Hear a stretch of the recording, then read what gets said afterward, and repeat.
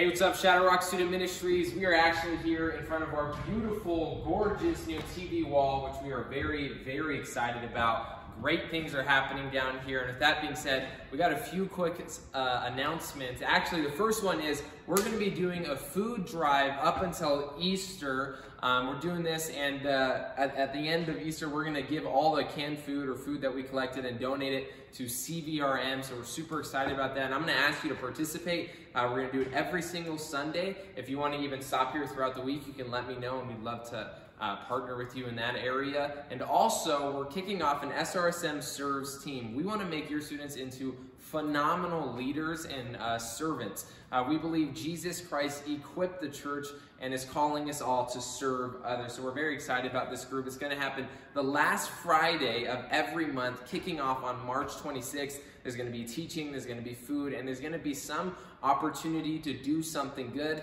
It could be organizing things in the church, it could be writing uh, cards to people, it could be a ton of different options. And we just want you, if you've been coming to our church for a long time or a short time, if you're a student and you want to serve the community, this is a great opportunity for you. God bless and thanks so much for all that you're doing. I ask you parents and students to join us in prayer. We want to be the church that makes a huge difference wherever we're at. God bless and see you then.